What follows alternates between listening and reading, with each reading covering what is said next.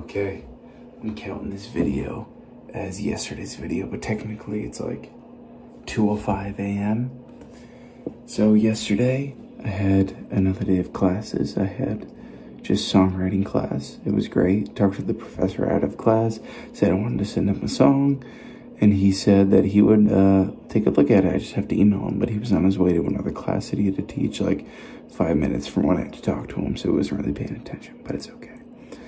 My, you know, my friends right now, um, we've been drinking a little bit, smoking a little bit, just having fun, chilling, listening to music, freestyling, good times. But, um, tomorrow should be a good day. It's Saturday. I'll have time to work on music and earth libraries and whatnot and practice. So that's going to be great. Hopefully I can get this gig at the frat party, the frat party concert. Just the frat prez dude to like our shit, which I hope he does. I guess we'll see. But I will catch y'all tomorrow. Thank you for watching.